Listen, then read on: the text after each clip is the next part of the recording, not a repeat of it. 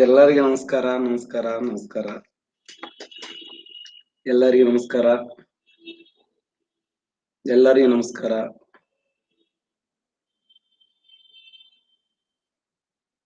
ಮುಬಾರಕ್ ನದಾಫರ್ ಊಟ ಮಾಡಿದೆ. ಬ್ಯಾಂಕ್ ಕುಂದ್ರಬೇಕು ಓಪಿ ನಮಸ್ಕಾರ ನಮಸ್ಕಾರ. ನಮಸ್ತೆ. ಊಟ ಮಾಡಿದೆವು. ಸೌಮ್ಯ ಗೌಡ್ರೆ ನಮಸ್ಕಾರ. ಸಂಜೀವ್ ಅವರೇ, ನಮಸ್ಕಾರ. ವಿಶ್ವ ಉತ್ನಾಳು, ಮೇಷ್ಟ್ರೆ. ನಮಸ್ತೆ ನಮಸ್ತೆ. ಎಲ್ಲರಿಗೂ ನಮಸ್ತೆ.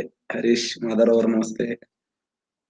ಅಶೋಕ್ ಕೌಶರ್ ಅವರು, ಸುನೀತಾ ಟಿ ಎಂ ಅವರು, ಗಿರೀಶ್ ಅವರು, ವಿಜಯ್ ಅವರು, ಸಂದೀಪ್ ಅವರು, ಶೇಖರ್, ವಿಷ್ಣು ಅವರು, ಲಕ್ಷ್ಮಣ್ ಅವರು, ಬೀರಪ್ಪ ಅವರು, ಕುಮಾರ್ ಅವರು, ಎನ್ ಬಿ ಬರಾದರ್ ಅವರು ರಾಧಾ ಟಿ ಅವರು, ಗಡ್ಡೆಪ್ಪ ಅವರು, ಗಡ್ಡೆಪ್ಪ ನಮಸ್ಕಾರ, ಶ್ವೇತಾ ಡೋಣರ್ ಅವರು, ಹ್ಮ್, ಎಲ್ಲರಿಗೂ ನಮಸ್ಕಾರ. ನಮಸ್ತೆ, ಶರಣರಿಗೆ ಶರಣ ಶರಣಾರ್ಥಿ. ಕ್ಯೂಜ್ ಮಾಡ್ತೀನಿ ಮತ್ತೆ ವಿಶ್ವ. ಕ್ಯೂಜ್ ಕ್ಯೂಜ್ ಮಾಡೋಳು ನೆಕ್ಸ್ಟ್ ಹ್ಮ್. ಓಬಣ್ಣ ನಾಯಕ. ಓಬಣ್ಣ ನಾಯಕ. ಶರಣಯ್ಯ ಸರ್ಗೆ ನಮಸ್ಕಾರ. ಓಕೆ ಹ್ಮ್ ಕ್ಲಾಸ್ ಸ್ಟಾರ್ಟ್ ಮಾಡೋಣ. ಎಲ್ಲರಿಗೂ ನಮಸ್ಕಾರ. ಎಲ್ಲರಿಗೂ ನಮಸ್ಕಾರ. ವಿಕಾಸ್ ಬಸವರಾಜ್ ಅವರೇ. ಯಪ್ಪ ಯಪ್ಪ ಯಪ್ಪ ಸರ್ ನಮಸ್ಕಾರ. ಆ, ಒಳ್ಳೇದು. ರಿಜ್ವಾನ್ ಅವರು, ಬಿಜಾಪುರದಿಂದ ರಿಜ್ವಾನ್ ಅವರಿಗೆ ನಮಸ್ಕಾರ.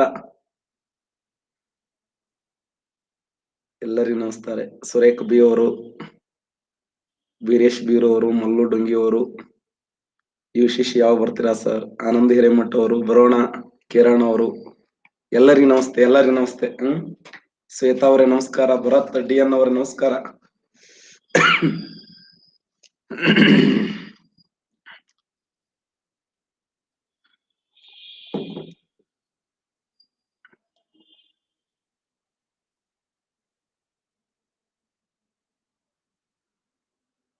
ಸ್ಟಾರ್ಟ್ ಮಾಡೋಣ? ಓಕೆ. Okay okay.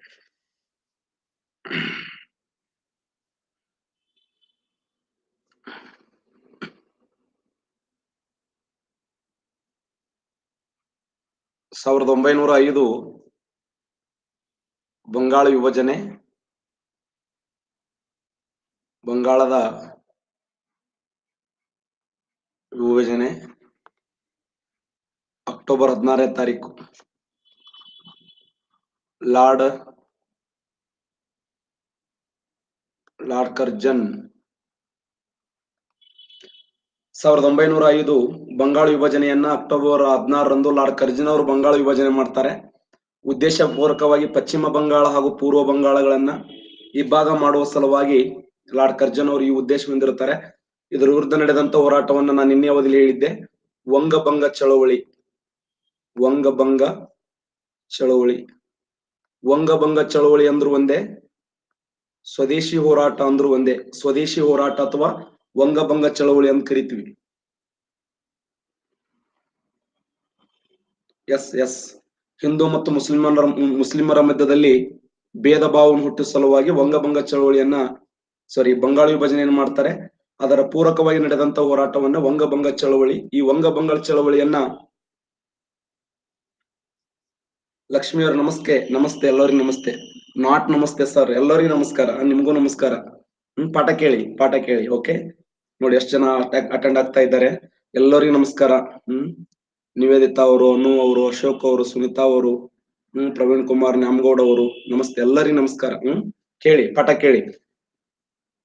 ಸಾವಿರದ ಒಂಬೈನೂರ ಐದರಲ್ಲಿ ಬಂಗಾಳ ವಿಭಜನೆ ಆಗ್ತದೆ. ಅಕ್ಟೋಬರ್ ಹದಿನಾರರಂದು ಲಾರ್ಡ್ ಕರ್ಜನ್ ಅವರು ಬಂಗಾಳ ವಿಭಜನೆ ಮಾಡ್ತಾರೆ. ಅದರ ವಿರುದ್ಧ ನಡೆದಂತ ಹೋರಾಟವನ್ನೇ ವಂಗಭಂಗ ಚಳವಳಿ ವಂಗಭಂಗ ಚಳವಳಿ ಅಂದ್ರೂ ಒಂದೇ, ಸ್ವದೇಶಿ ಚಳವಳಿ ಅಂದ್ರೂ ಒಂದೇ. ಎಸ್ ಈ ಸ್ವದೇಶಿ ಚಳವಳಿ ಹೋರಾಟದ ವಿಧಾನ ಹೆಂಗಿತ್ತು ಅಂತಂದ್ರ ರಕ್ಷಾ ಬಂಧನವನ್ನ ಆಚರಣೆ ಮಾಡಲಾಗ್ತದೆ.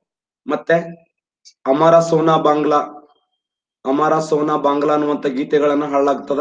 ಅಮರ ಸೋನಾ ಬಾಂಗ್ಲಾ ರಕ್ಷಾ ಬಂಧನವನ್ನ, ಹ್ಮ್, ಅಮರ ಸೋನಾ ಬಾಂಗ್ಲಾ ಗೀತೆಗಳನ್ನ ಹಾಡಲಾಗ್ತದೆ. ಹಿಂದೂ ಮುಸಲ್ಮಾನರ ಮಧ್ಯದಲ್ಲಿ ಒಂದು ಸೌಹಾರ್ದ ಸಂಬಂಧವನ್ನು ಹುಟ್ಟಿಕೊಳ್ಳಲು ನಡೆದಂತ ದೊಡ್ಡ ಮಟ್ಟದ ಹೋರಾಟ ಅದು ಬಂಗಾಳ ವಿಭಜನೆ. ಬಂಗಾಳ ವಿಭಜನೆ ವಿರೋಧ ಮಾಡಿ ಹೊರ- ನಡೆದ ಹೋರಾಟ. ಎಸ್ ಒಂದೇ ಮಾತರಂ ಗೀತೆಗಳು. ಒಂದೇ ಮಾತರಂ. ಒಂದೇ ಮಾತರಂ. ಒಂದೇ ಮಾತರಂ ಗೀತೆಯನ್ನು ಹಾಡಲಾಗ್ತದೆ ಭಾರತ ರಾಷ್ಟ್ರೀಯ ಚಳವಳಿಯಲ್ಲಿ ಸಾವಿರದ ಒಂಬೈನೂರ ಐದು ಅಂಗಭಂಗ ಚಳವಳಿ ಅತ್ಯಂತ ಪ್ರಧಾನವಾಗಿರುವಂತ ಹೋರಾಟ ಆರತಿ ಅವ್ರ ನಮಸ್ಕಾರ, ಕವಿತಾ ಅವ್ರ ಎಲ್ಲರಿಗೂ ನಮಸ್ಕಾರ. ಹ್ಮ್? ರಾಷ್ಟ್ರೀಯ ಶೋಕ ದಿನವನ್ನಾಗಿ ಆಚರಣೆ ಮಾಡಲಾಗ್ತದೆ. ನದಾ ಫಾರ್ ರೈಟ್. ಸಾವಿರದ ಒಂಬೈನೂರ ಐದು ಅಕ್ಟೋಬರ್ ಹದಿನಾರನೇ ತಾರೀಕನ್ನ ಭಾರತ ದೇಶದಲ್ಲಿ ರಾಷ್ಟ್ರೀಯ ಶೋಕ ದಿನವನ್ನಾಗಿ ಹರಳತಾಳ ಮೂಲಕ ಆಚರಣೆ ಮಾಡಲಾಗ್ತದ. ಇನ್ನ ಸಾವಿರದ ಒಂಬೈನೂರ ಆರು, ಹತ್ತೊಂಬತ್ ನೂರ ಆರರಲ್ಲಿ ಮುಸ್ಲಿಂ ಲೀಗ್ ಸ್ಥಾಪನೆ, ಮುಸ್ಲಿಂ ಲೀಗ್ ಸ್ಥಾಪನೆ ಸಾವಿರದ ಒಂಬೈನೂರ ಆರರಲ್ಲಿ ಮುಸ್ಲಿಂ ಲೀಗ್ ಸ್ಥಾಪನೆ ಸ್ಥಾಪನೆ, ಮುಸ್ಲಿಂ ಲೀಗ್ ಸ್ಥಾಪನೆ ಮಾಡಿದವರು ಯಾರಂದ್ರೆ ಆಗಾ ಖಾನ್. ಆಗಾ ಖಾನ್ ಅದಕ್ಕೆ ಬೆಂಬಲಿಸಿದವರು ಎಸ್. ಸಾವಿರದ ಒಂಬೈನೂರ ಆರು ಡಿಸೆಂಬರ್ ಮೂವತ್ತರಂದು ಮುಸ್ಲಿಂ ಲೀಗ್ ಸ್ಥಾಪನೆ ಆಗ್ತದ? ಅದನ್ನು ಬೆಂಬಲಿಸಿದವರು ಯಾರು ಅಂದ್ರೆ? Okay okay. Salim Ulla Khan very good Salim Ulla Khan ಅನ್ನುವಂತ ವ್ಯಕ್ತಿ ಸಲೀಂ ಉಲ್ಲಾ ಖಾನ್. ಸಲೀಂ ಉಲ್ಲಾ ಖಾನ್ ಅದನ್ನ ಬೆಂಬಲಿಸ್ತಾರೆ. ಸಲೀಂ ಉಲ್ಲಾ ಖಾನ್ ಮುಸ್ಲಿಂ ಲೀಗ್ ಸ್ಥಾಪನೆ ಮಾಡಿದವರು ಆಗ ಖಾನ್ ಅದನ್ನ ಬೆಂಬಲಿಸಿದವರು ಸಲೀಂ ಉಲ್ಲಾ ಖಾನ್. ಭಾರತ ದೇಶದಲ್ಲಿ ಮುಸ್ಲಿಂ ಲೀಗ್ ಬೆಂಬಲ ಕೊಟ್ಟವರು sir Syed Ahmad Khan. Sir Syed sir Syed Ahmad Khan ಅವರು. ಅಹ್ಮದ್ ಖಾನ್, ಸರ್ ಸೈಯದ್ ಅಹ್ಮದ್ ಖಾನ್. ನಾನು ನಿನ್ನೆ ಅವಧಿಯಲ್ಲಿ ನಮಸ್ತೆ, ಎಲ್ಲರಿಗೂ ನಮಸ್ತೆ. ತುಂಬಿಗ ನಮಸ್ಕಾರ, ಪೂಜಾರ್ ನಮಸ್ಕಾರ, ಎಲ್ಲರಿಗೂ ನಮಸ್ತೆ. ಹ್ಮ್? ಸಾವಿರದ ಒಂಬೈನೂರ ಆರು ಸಲೀಂ ಉಲ್ಲಾ ಖಾನ್ ಮುಸ್ಲಿಂ ಲೀಗ್ ಸ್ಥಾಪನೆ ಮಾಡಿದಂತ ವ್ಯಕ್ತಿ ಆಗ ಖಾನ್ ಅವನ್ನು ಬೆಂಬಲಿಸಿದ ವ್ಯಕ್ತಿ ಸಲೀಂ ಉಲ್ಲಾ ಖಾನ್ ಇದರ ಕೇಂದ್ರ ಕಚೇರಿ ಎಲ್ಲಿದೆ ಅಂದ್ರೆ ಬಾಂಗ್ಲಾದೇಶದ ಢಾಕಾ ಸಾವಿರದ ಒಂಬೈನೂರ ಆರು ಮುಸ್ಲಿಂ ಲೀಗ್ ಸ್ಥಾಪನೆ, ಸಾವಿರದ ಒಂಬೈನೂರ ಐದು ಬಂಗಾಳದ ವಿಭಜನೆ ಬಂಗಾಳವನ್ನ ವಿಭಜನೆ ಮಾಡಿರ್ತಕ್ಕಂಥದ್ದು. ವೆಂಕಟೇಶ್ವರ, ನಮಸ್ಕಾರ. ನಮಸ್ಕಾರ ವೆಂಕಟೇಶ್ ಅವರಿಗೆ ವೆಂಕಟೇಶ್ವರ, ನಮಸ್ಕಾರ. ಹ್ಮ್? ಸಾವಿರದ ಒಂಬೈನೂರ ಏಳು ಹತ್ತೊಂಬತ್ ನೂರ ಏಳರಲ್ಲಿ ಸೂರತ್ ಕಾಂಗ್ರೆಸ್ ಅಧಿವೇಶನ, ಸೂರತ್ ಕಾಂಗ್ರೆಸ್ ಅಧಿವೇಶನ, ಸೂರತ್ ಕಾಂಗ್ರೆಸ್ ಅಧಿವೇಶನ ಅಧಿವೇಶನ ಸಾವಿರದ ಒಂಬೈನೂರ ಏಳರಲ್ಲಿ ಆಕ್ಚುಲಿ ಅದನ್ನ ಬೇರೆ ಕಡೆ ವರ್ಗಾವಣೆ ಮಾಡ್ಬೇಕು ಅನ್ನೋ ಉದ್ದೇಶ ಇತ್ತು. ಹಾಗಾದ್ರೆ ಸೂರತ್ ಕಾಂಗ್ರೆಸ್ ಅಧಿವೇಶನ ಯಾವ ಸ್ಥಳದಲ್ಲಿ ಮಾಡ್ಬೇಕಂತ ಉದ್ದೇಶ ಇತ್ತು? ನಾನು ನಿನ್ನೆ ಹೇಳಿದ್ದೆ. ಸೂರತ್ ಕಾಂಗ್ರೆಸ್ ಅಧಿವೇಶನವನ್ನು ಯಾವ ಸ್ಥಳದಲ್ಲಿ ಮಾಡ್ಬೇಕು ಉದ್ದೇಶ ಹೊಂದಿದ್ರು? ವೆರಿ ಗುಡ್ ನಾಗಪುರದಲ್ಲಿ ಮಾಡ್ಬೇಕು ಅನ್ನೋ ಉದ್ದೇಶ ಹೊಂದಿದ್ರು. ಆದ್ರೆ ನಾಗ್ಪುರದಲ್ಲಿ ಏನಾದರೂ ಅದರ ಅಧ್ಯಕ್ಷರಾದರೆ ಸಾರಿ ನಾಗ್ಪುರದಲ್ಲಿ ಏನಾದರೂ ಅದರ ಅಧಿವೇಶನ ಹೇಳಿದರೆ ಅದರ ಅಧ್ಯಕ್ಷರಾಗಿ ಬಾಲ್ ಗಂಗಾಧರ್ ತಿಲಕರ ಆಯ್ಕೆ ಆಗಬೇಕು ಇಲ್ಲ ಅಂದ್ರೆ ಲಾಲಾ ಲಜಪತ್ ಅವರನ್ನ ಆಯ್ಕೆ ಮಾಡಬೇಕು ಅನ್ನುವಂತ ಉದ್ದೇಶವನ್ನು ಹೊಂದಲಾಗಿತ್ತು. ಬಟ್ ಅದನ್ನ ಸೂರತ್ಗೆ ವರ್ಗಾವಣೆ ಮಾಡಿದ ಉದ್ದೇಶ ಏನಂದ್ರೆ, ಉದ್ದೇಶಪೂರ್ವಕವಾಗಿ ತಿಲಕರು ತಿಲಕರು ಉದ್ದೇಶಪೂರ್ವಕವಾಗಿ ಈ ಒಂದು ಎಸ್ ಆ ಒಂದು ಈ ಹೋರಾಟದಲ್ಲಿ ತಿಲಕರು ಇದರ ಅಧ್ಯಕ್ಷರಾಗಬಾರ ಉದ್ದೇಶಕ್ಕಾಗಿ ಅವರು ತಡೆ ಹಿಡಿತಾರೆ ಸ್ನೇಹಿತರೆ. ಯಾಕಂದ್ರೆ ಸೂರತ್ ಮುಂಬೈ ಪ್ರಾಂತ್ಯದ ಒಂದು ಭಾಗವಾಗಿತ್ತು. ಮುಂಬೈದ ನಾಯಕರಾಗಿರುವಂತ ಬಾಲಗಂಗಾಧರ್ ತಿಲಕರು ಒಂದು ವಿಶ್- ವಿಶೇಷ ಕಾಂಗ್ರೆಸ್ ಅಧಿವೇಶನದಲ್ಲಿ ಒಂದು ವಿಶೇಷ ಷರತ್ತು ಏನು ಅಂತಂದ್ರೆ, ಯಾರು ಆ ಸ್ಥಳದ ನಾಯಕರಾಗಿರುತ್ತಾರೋ? ಇವತ್ತು ಮುಂಬೈದ ನಾಯಕರಾಗಿದ್ರೆ ಅದರ ಅಧ್ಯಕ್ಷರಾಗಕ್ ಬರಂಗಿಲ್ಲ. ದೆಹಲಿಯ ನಾಯಕರಾಗಿದ್ರೆ ದೆಹಲಿಯ ಅಧ್ಯಕ್ಷ ಸ್ಥಾನ ವಹಿಸಕ್ ಬರಂಗಿಲ್ಲ. ಕಲ್ಕತ್ತಾದ ನಾಯಕತ್ವ ವಹಿಸಿಕೊಂಡ್ರೆ ಕಲ್ಕತ್ತಾದ ಅಧ್ಯಕ್ಷ ಆಲಕ್ ಬರಂಗಿಲ್ಲ. ಹಾಗೆ ಸಾವಿರದ ಒಂಬೈನೂರ ಏಳರ ಸೂರತ್ ಕಾಂಗ್ರೆಸ್ ಅಧಿವೇಶನದ ಅಧ್ಯಕ್ಷರ, ಅಧ್ಯಕ್ಷ ಸ್ಥಾನವನ್ನ ಬಾಲ, ಯಾರು, ಬಾಲಗಂಗಾಧರ ತಿಲಕರಿಗೆ ಅವಕಾಶ ಕೊಡಬಾರದು ಅನ್ನುವಂತ ಉದ್ದೇಶಕ್ಕಾಗಿ ಇಂಥ ಒಂದು ವಿಶೇಷವಾದ, ಆ, ಈ ಅಧಿವೇಶನವನ್ನು ರೂಪಿಸಿಕೊಳ್ತಾರೆ ಅಂತ ನಾವು ಅಧ್ಯಯನ ಮಾಡ್ತೀವಿ. ಇನ್ನು ಸಾವಿರದ ಒಂಬೈನೂರ ಒಂಬತ್ತು ಲಾರ್ಡ್ ಮಿಂಟೋ ಚಲವಳಿ ಮಿಂಟೋ, ಮಾರ್ಲೆ ಮಿಂಟೋ ಅನ್ನುವಂತ ನಿನ್ನೆ ನಾವು ಹೇಳ್ತಾ ಇದ್ದೆ. ಮಾರ್ಲೆ ಮಿಂಟೋ ಅಧಿವೇಶನ, ಮಾರ್ಲೆ ಮಿಂಟೋ ಅಧಿವೇಶನ. ಮಾರ್ಲೆ ಯಾರು ಅಂತಂದ್ರೆ ಅಧ್ಯಕ್ಷ ಮಿಂಟೋ ಯಾರಂದ್ರೆ ಸಾರಿ ಮಾರ್ಲೆ ಕಾರ್ಯದರ್ಶಿ ಮಿಂಟೋ ಅಧ್ಯಕ್ಷ. ಮಾರ್ಲೆ ಕಾರ್ಯದರ್ಶಿ ಮಿಂಟೋ ಅಧ್ಯಕ್ಷ, ಇದರ ಮೂಲ ಉದ್ದೇಶ ಏನಂದ್ರೆ, ಜಾತಿಯ ಬೀಜವನ್ನ ಬಿತ್ತುವಂತ ಉದ್ದೇಶವನ್ನು ಹೊಂದಲಾಗಿತ್ತು. ಜಾತಿಯ ಬೀಜವನ್ನ ಹಿಂದೂ ಮತ್ತು ಮುಸಲ್ಮಾನರ ಮಧ್ಯದಲ್ಲಿ, ಹಿಂದೂ ಮುಸ್ಲಿಮರ ಮಧ್ಯದಲ್ಲಿ ಮುಸ್ಲಿಮರ ಮಧ್ಯದಲ್ಲಿ ಜಾತಿ ಭೇದವನ್ನ ಹುಟ್ಟಿಸುವ ಅಷ್ಟೇ ಅಲ್ಲದೆ ಮುಸ್ಲಿಮರಿಗೆ ಪ್ರತ್ಯೇಕವಾದ ಚುನಾವಣಾ ಮತಗಟ್ಟೆಯನ್ನ ಸ್ಥಾಪನೆ ಮಾಡಿರ್ತಕ್ಕಂಥ ಮತದಾನವನ್ನ ಮಾಡಿಕೊಟ್ಟಿರ್ತಕ್ಕಂಥ ಉದ್ದೇಶ ಹೊಂದಿದ್ದಂತ ಮಾರ್ಲೆ ಅವರನ್ನ ಭಾರತ ದೇಶದ ಕೋಮುವಾದದ ಪಿತಾಮ ಅಂತ ಕರೀತಾರೆ. ಈತನನ್ನ ಭಾರತ ದೇಶದ ಕೋಮುವಾದದ ಪಿತಾಮ ರಾಷ್ಟ್ರವನ್ನು ಹೇಗಾದ್ರೂ ಆಳ್ವಿಕೆ ಮಾಡಬೇಕಂದ್ರೆ ಒಡಿಬೇಕು, ಒಡೆದು ಆಳ್ವಿಕೆಯನ್ನು ಮಾಡ್ಬೇಕು ಅನ್ನೋ ಉದ್ದೇಶವನ್ನು ಯಾರು ಹೊಂದಿದ್ರು? ಸಾವಿರದ ಒಂಬೈನೂರ ಏಳರಲ್ಲಿ ಸಾರಿ ಸಾವಿರದ ಒಂಬೈನೂರ ಹತ್ತೊಂಬತ್ತರಲ್ಲಿ ಮಾರ್ಲೆ ಮಿಂಟೋ ಸುಧಾರಣೆಯ ಮುಖ್ಯ ಉದ್ದೇಶ ಆಗಿತ್ತು ಅಂತ. ಎಸ್ ಇವತ್ತಿಂದ ನಾವು ಅದರ ಮುಂದೆ ನಿನ್ನೆ ವರದಿಯಲ್ಲಿ ಎಲ್ಲ ಅಧ್ಯಯನ ಮಾಡಿದ್ದೆವು. ಅದರ ಮುಂದುವರೆದ ಭಾಗ ಯಾವುದಂದ್ರೆ ಕಲ್ಕತ್ತಾ ಕಾಂಗ್ರೆಸ್ ಅಧಿವೇಶನ ಸ್ನೇಹಿತರೆ. ಕಲ್ಕತ್ತಾ ಕಾಂಗ್ರೆಸ್ ಅಧಿವೇಶನ. ಕಲ್ಕತ್ತಾ ಕಾಂಗ್ರೆಸ್ ಅಧಿವೇಶನ ಸಾವಿರದ ಒಂಬೈನೂರ ಹನ್ನೊಂದು ಹತ್ತೊಂಬತ್ ನೂರ ಹನ್ನೊಂದರ ಕಲ್ಕತ್ತಾ ಕಾಂಗ್ರೆಸ್ ಅಧಿವೇಶನದ ವಿಶೇಷ ಏನು? ಕಲ್ಕತ್ತಾ ಕಾಂಗ್ರೆಸ್ ಅಧಿವೇಶನ ಸಾವಿರದ ಒಂಬೈನೂರ ಹನ್ನೊಂದು. ಇದರ ಅಧ್ಯಕ್ಷರ ಯಾರಾಗಿದ್ರಂದ್ರೆ B N Dhar. B N Dhar ಇದರ ಅಧ್ಯಕ್ಷರಾಗಿದ್ರು. B N Dhar. ಸಾವಿರದ ಒಂಬೈನೂರ ಹನ್ನೊಂದರ ಕಲ್ಕತ್ತಾ ಕಾಂಗ್ರೆಸ್ ಅಧಿವೇಶನದ ಅಧ್ಯಕ್ಷರು ಬಿ ಎನ್ ದರ್ ಆಗಿದ್ರು ಈ ಒಂದು ಕಾಂಗ್ರೆಸ್ ಅಧಿವೇಶನದ ವಿದೇಶ ವಿಶೇಷ ಏನು ಅಂತಂದ್ರೆ, ಮೊದಲು ಬಾರಿಗೆ ಮೊದಲು ಬಾರಿಗೆ ಮೊದಲು ಬಾರಿಗೆ ರಾಷ್ಟ್ರಗೀತೆಯನ್ನು ಹಾಡಲಾಯಿತು ಅಂತ ರಾಷ್ಟ್ರಗೀತೆಯನ್ನು, ಮೊದಲು ಬಾರಿಗೆ ರಾಷ್ಟ್ರಗೀತೆಯನ್ನು, ರವೀಂದ್ರನಾಥ್ ಟ್ಯಾಗೋರ್ ಅವರು ಬರೆದಂತ ರಾಷ್ಟ್ರಗೀತೆಯನ್ನ ಮೊಟ್ಟ ಮೊದಲ ಬಾರಿಗೆ ಸಾವಿರದ ಒಂಬೈನೂರ ಹನ್ನೊಂದು ಕಲ್ಕತ್ತಾ ಕಾಂಗ್ರೆಸ್ ಅಧಿವೇಶನದಲ್ಲಿ ಜರುಗುತ್ತದೆ ಇದರ ಅಧ್ಯಕ್ಷರಾಗಿ ಬಿ ಎನ್ ದರ್ ಅವರು ಆಯ್ಕೆ ಆಗ್ತಾರೆ. ಮೊದಲು ಬಾರಿಗೆ ರಾಷ್ಟ್ರಗೀತೆಯನ್ನು ಹಾಡಿದವರು ಯಾರಂದ್ರೆ ಸರಳಾದೇವಿ ಸರಳಾದೇವಿ. ಸರಳಾದೇವಿ ಯಾರು ಯಾರಂದ್ರೆ ರವೀಂದ್ರನಾಥ ಟ್ಯಾಗೋರ್ ಅವರ ಸಹೋದರಿಯ ಮಗಳು. ರವೀಂದ್ರನಾಥ್ ಟ್ಯಾಗೋರ್ ಅವರ ಸಹೋದರಿ ಮಗಳಾಗಿರುವಂತಹ ಸರಳಾದೇವಿ ಅವರು ರವೀಂದ್ರನಾಥ್ ಟ್ಯಾಗೋರ್ ಅವರ ಸಹೋದರಿ ಮಗಳಾಗಿರುವಂತಹ ಸರಳಾದೇವಿ ಅವರು ಈ ಒಂದು ರಾಷ್ಟ್ರಗೀತೆಯನ್ನು ಹಾಡ್ತಾರೆ ಸ್ನೇಹಿತರೆ.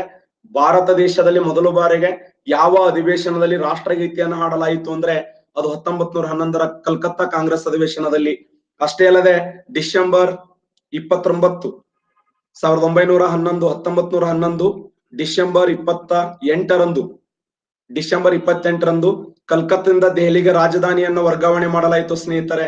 ಇದು ಬಹಳ ಮುಖ್ಯವಾಗಿರುವಂತದ್ದು ಯಾಕಂದ್ರೆ ಆ ಸಮಯದಲ್ಲಿ ಕಲ್ಕತ್ತಾ ಪಶ್ಚಿಮ ಬಂಗಾಳ ಏನಾಗಿತ್ತಂದ್ರೆ ಬೂದಿ ಮುಚ್ಚಿದ ಕೆಂಡವಾಗಿತ್ತು.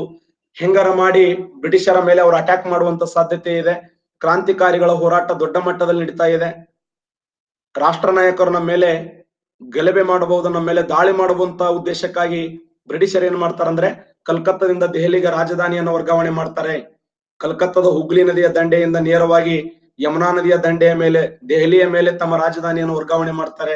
ಹಾಗಾದ್ರೆ ಹತ್ತೊಂಬತ್ ನೂರ ಹನ್ನೊಂದರಲ್ಲಿ ದೆಹಲಿಯ ವರ್ಗಾವಣೆ, ರಾಜಧಾನಿಯ ವರ್ಗಾವಣೆ, ಸಾವಿರದ ಒಂಬೈನೂರ ಹನ್ನೊಂದರಲ್ಲಿ ದೆಹಲಿ ಭಾರತದ ರಾಜಧಾನಿ ಆಗ್ತದೆ. ಆದ್ರೆ ಸಂವಿಧಾನಬದ್ಧವಾಗಿ ಭಾರತ ರಾಜಧಾನಿಯಾಗ ಯಾದ ವರ್ಷ. ಸಂವಿಧಾನಬದ್ಧವಾಗಿ. Okay okay.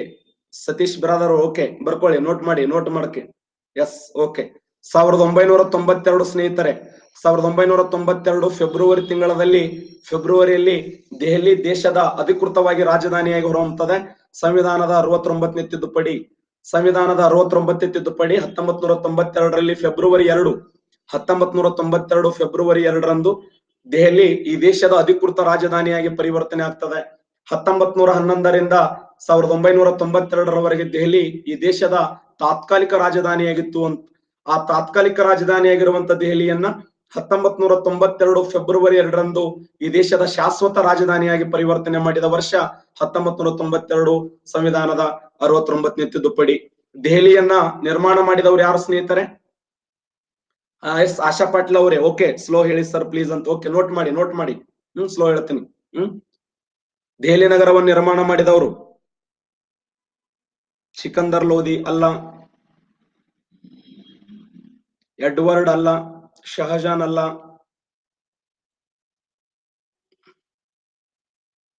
ಲೂತಿಯಾನೋ ಅಲ್ಲ. ದೆಹಲಿ ನಗರವನ್ನು ನಿರ್ಮಾಣ ಮಾಡಿದವರು? ಎನಿಬಡಿ ಸಾವಿರಕ್ಕಿಂತ ಹೆಚ್ಚು ವಿದ್ಯಾರ್ಥಿಗಳು ಅಟೆಂಡ್ ಆಗಿದ್ರೆ ಕ್ಲಾಸಿಗೆ ಆನ್ಸರ್ ಮಾಡಬೇಕು. ರಜಿಯಾ, ನಿಜಾಮರು ಅಲ್ಲ. ಆನಂದ್ ಚೂರಿ ಅಲ್ಲ, ಬಾಬರು ಅಲ್ಲ. ದೆಹಲಿ ನಗರ ನಿರ್ಮಾಣ ಫಿರೋಜ್ ಶಾನು ಅಲ್ಲ. ತುಘಲಕ್ ಅಲ್ಲ, ಅಲ್ಲಾವುದ್ದೀನ್ ಅಲ್ಲ. ಸುಲ್ತಾನ್ರು ಅಲ್ಲ. ಎಕ್ಸಲೆಂಟ್ ಸರಿಯಾದ ಉತ್ತರ ತೋಮಾರರು ತೋಮಾರರು. ಎಂ ಎಸ್ ಎಂ ಎಸ್ ಅವರು ಆನ್ಸರ್ ಮಾಡಿದ್ದಾರೆ. ಸಾರಿ ಅಲ್ಲಿ ಅದಕ್ಕಿಂತ ಮುಂಚೆ ಯಾರೋ ಒಬ್ರು ಆನ್ಸರ್ ಮಾಡಿದ್ರು. ಸರಿಯಾದ ಉತ್ತರ ತೋಮಾರರು. ತೋಮಾರರು. ತೋಮಾರರು ದೆಹಲಿಯ ನಗರವನ್ನು ನಿರ್ಮಾಣ ಮಾಡಿದವರು ಯಾರಂದ್ರೆ ತೋಮಾರರು. ದೆಹಲಿಯ ಮೊದಲ ಹೆಸರು ಏನು ಸ್ನೇಹಿತರೆ? ದೆಹಲಿಯ ಮೊದಲ ಹೆಸರು. ದೆಹಲಿಯ ಮೊದಲ ಹೆಸರು. ಎಕ್ಸಲೆಂಟ್ ಇಂದ್ರಪಥ ಇಂದ್ರಪ್ರಸ್ಥ ಸರಿಯಾದ ಉತ್ತರ. ಇಂದ್ರಪ್ರಸ್ಥ ಇಂದ್ರಪ್ರಸ್ಥ. ದೆಹಲಿಯ ಮೊದಲ ಹೆಸರು ಏನಂದ್ರೆ ಇಂದ್ರಪ್ರಸ್ಥ. ಇದನ್ನ ನಿರ್ಮಾಣ ಮಾಡಿದವರು ತೋಮಾರರು. ಸಾವಿರದ ಒಂಬೈನೂರ ಹನ್ನೊಂದು ಡಿಸೆಂಬರ್ ಇಪ್ಪತ್ತೆಂಟರಂದು ಕಲ್ಕತ್ತಾದಿಂದ ದೆಹಲಿ, ಕಲ್ಕತ್ತಾದಿಂದ ದೆಹಲಿಗೆ ರಾಜಧಾನಿ ವರ್ಗಾವಣೆ ಮಾಡಲಾಗ್ತದ. ಸಂವಿಧಾನದ ಅರವತ್ತೊಂಬತ್ತನೇ ತಿದ್ದುಪಡಿ ಹತ್ತೊಂಬತ್ ನೂರ ತೊಂಬತ್ತೆರಡು ಫೆಬ್ರವರಿ ಎರಡರಂದು ದೆಹಲಿ ಈ ದೇಶದ ಈ ದೇಶದ ಮೊದಲ ರಾಜಧಾನಿಯಾಗಿ ಪರಿವರ್ತನೆ ಆಗುತ್ತದೆ ಅಂತ. ಮಲ್ಲು ಅವರು, ಕುಮಾರ್ ಆಲ್ಮೇಲ್ ಅವರ ಹೆಸರಿನಲ್ಲಿ ಮೊದಲ ಹೊಸ್ತಿಲು ಅಂತ. ಮಲ್ಲುವರಿಗೆ ನಮಸ್ಕಾರ. ಮಲ್ಲು ಅವರು ಬಿಜಾಪುರದಿಂದ ಮಲ್ಲು ಪಾಠ ನೋಡ್ತಾ ಇದ್ದಾರೆ, ಖುಷಿ ಪಡೋದಂತ ವಿಚಾರ. ಕೇಳಿ, ಸಾಕಷ್ಟು ರಾಜ್ಯದ ಎಲ್ಲ ವಿದ್ಯಾರ್ಥಿಗಳು ಪಾಠ ಕೇಳ್ತಾ ಇದ್ದಾರೆ, ಇದೇ ಖುಷಿ. ಪಾಠ ಅರ್ಥ ಆಗ್ತಾ ಇದೆ ಸ್ನೇಹಿತರೆ ಸ್ಲೋ ಹೇಳ್ತೀನಿ. ಓಕೆ ಓಕೆ ನಮಸ್ಕಾರ ನಮಸ್ಕಾರ, ಎಲ್ಲರಿಗೂ ನಮಸ್ಕಾರ. Okay okay okay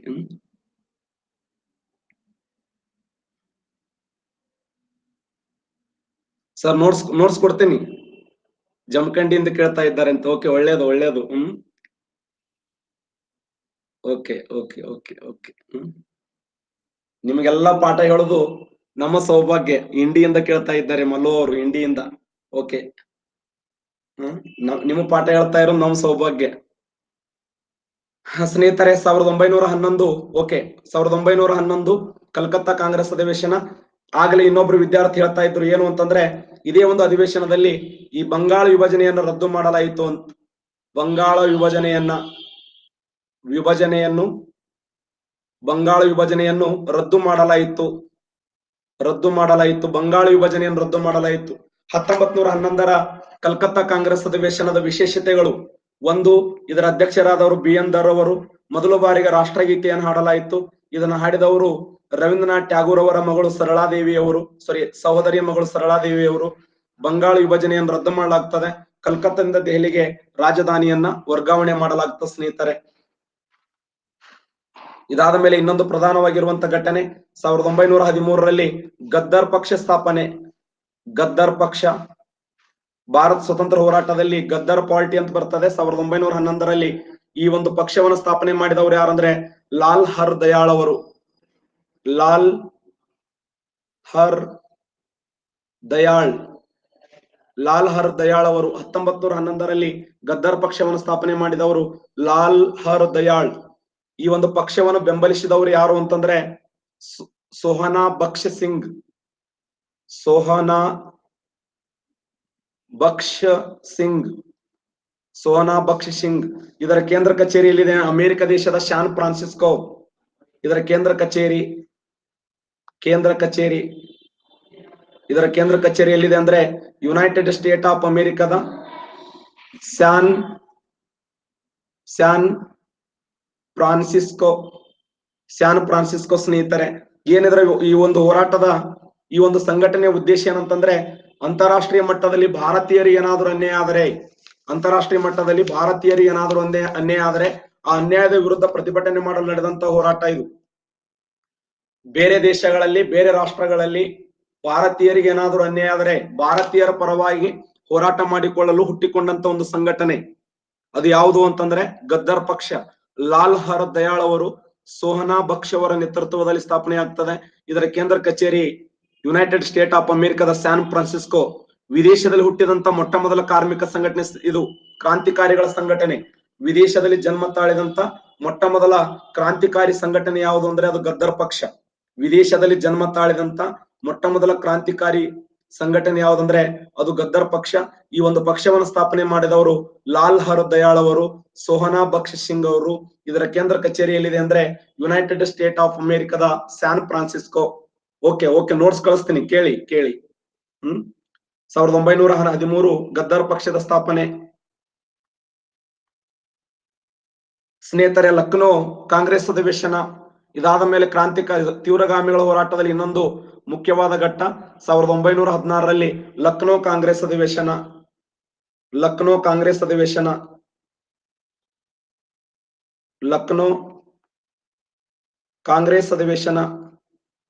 ಕಾಂಗ್ರೆಸ್ ಅಧಿವೇಶನ. ಏನೇ ವಿಶೇಷ ಹತ್ತೊಂಬತ್ ನೂರ ಹದಿನಾರರಲ್ಲಿ ಲಕ್ನೋ ಕಾಂಗ್ರೆಸ್ ಅಧಿವೇಶನ ನಡೀತದೆ.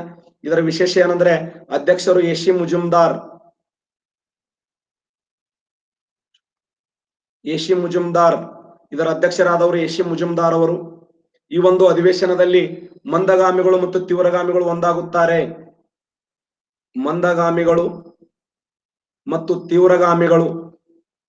ಮಂದಗಾಮಿಗಳು, ತೀವ್ರಗಾಮಿಗಳು ಒಂದಾಗಿರುವಂತಹ ಒಂದು ಘಟನೆ. ಲಕ್ನೋ ಕಾಂಗ್ರೆಸ್ ಅಧಿವೇಶನ ಸಾವಿರದ ಒಂಬೈನೂರ ಹದಿನಾರು. ಎಶಿ ಮುಜುಮ್ದಾರ್ ಇದರ ಅಧ್ಯಕ್ಷರಾಗಿರ್ತಾರೆ. ಎಶಿ ಮುಜುಮ್ದಾರು ಅರುಣ, ಯಾರು? A C Mazumdar means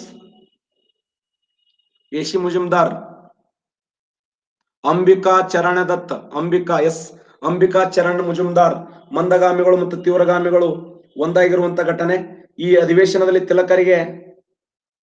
S ಇದೇ ಒಂದು ಅಧಿವೇಶನದಲ್ಲಿ ತಿಲಕರು ಮತ್ತೊಂದ್ಸರಿ ಒಂದು ಮಾತು ಹೇಳ್ತಾನೆ, ಏನಂದ್ರೆ ಸ್ವರಾಜ್ಯವನ್ನು ನಾನು ಪಡೆದೇ ತೀರುತ್ತೇನೆ.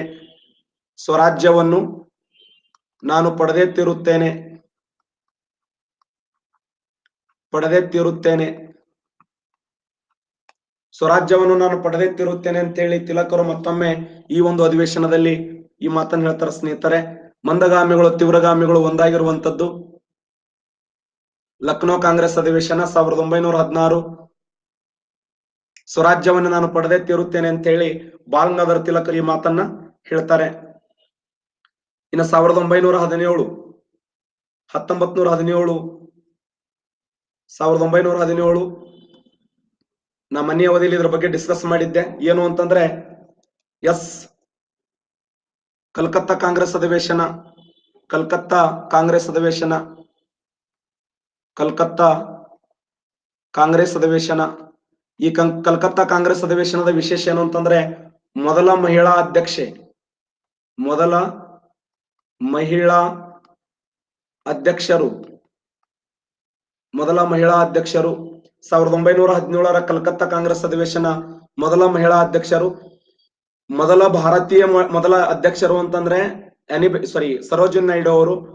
ಮೊದಲ ಮಹಿಳಾ ಅಧ್ಯಕ್ಷೆ ಅಂತಂದ್ರೆ ಅನಿ ಬೆಸೆಂಟ್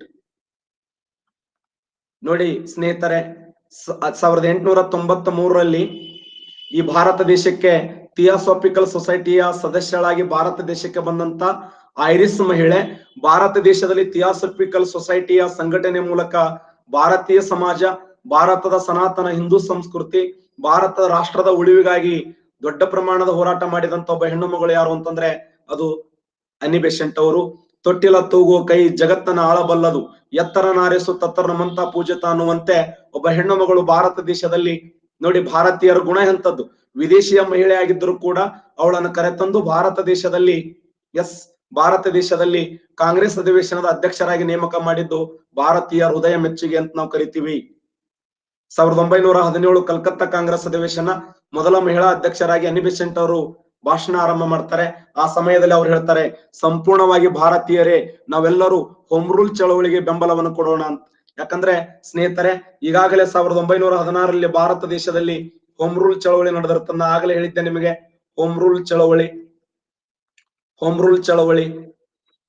ಹೋಮ್ ರೂಲ್ ಚಳವಳಿ ಅಂತಂದ್ರೆ ಮನೆಯ ಸ್ವತಂತ್ರ ಹೋರಾಟ. ನಾವು ಎಲ್ಲರೂ ಒಂದಾಗಿ ಹೋರಾಟವನ್ನು ಮಾಡೋಣ. ಸ್ವತಃ ಯಾರು ಅಂತಂದ್ರೆ ಬಾಲಗಂಗಾಧರ ತಿಲಕರು. ಮಹಾರಾಷ್ಟ್ರದ ಪುಣೆಯಲ್ಲಿ ಮಹಾರಾಷ್ಟ್ರದ ಪುಣೆಯಲ್ಲಿ ಮಹಾರಾಷ್ಟ್ರದ ಪುಣೆಯಲ್ಲಿ, ಪುಣೆ, ಮಹಾರಾಷ್ಟ್ರದ ಪುಣೆಯಲ್ಲಿ ಬಾಲಗಂಗಾಧರ ತಿಲಕರ ನೇತೃತ್ವದಲ್ಲಿ, ಏನಕ್ಕ ಯಾವುದು? ತಮಿಳುನಾಡಿನ ಚೆನ್ನೈದಲ್ಲಿ, ತಮಿಳುನಾಡಿನ ಚೆನ್ನೈ ಅಥವಾ ಅಡಿಯಾರ ಎಂಬ ಸ್ಥಳದಲ್ಲಿ ಅಡಿಯಾರ ಎಂಬ ಸ್ಥಳದಲ್ಲಿ ಅನಿಬೆ ಸೆಂಟರ್ ನೇತೃತ್ವದಲ್ಲಿ, ಇನ್ನು ಕರ್ನಾಟಕ ರಾಜ್ಯದಲ್ಲಿ ಧಾರವಾಡದಲ್ಲಿ, ಕರ್ನಾಟಕ ರಾಜ್ಯದಲ್ಲಿ ಧಾರವಾಡದಲ್ಲಿ, ಕರ್ನಾಟಕದ ಸಿಂಹ ಕರ್ನಾಟಕದ ಸಿಂಹ ಕರ್ನಾಟಕದ ಸಿಂಹ ಕರ್ನಾಟಕದ ಸಿಂಹ ಯಾರು ಅಂತಂದ್ರೆ ಗಂಗಾಧರಾವ್ ದೇಶಪಾಂಡೆ